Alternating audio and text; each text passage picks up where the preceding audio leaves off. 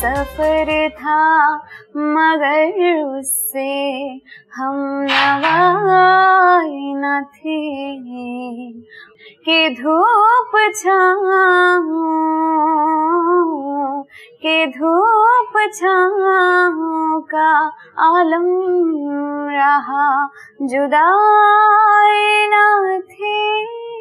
वो हम सफ़र वो हम सफ़र था।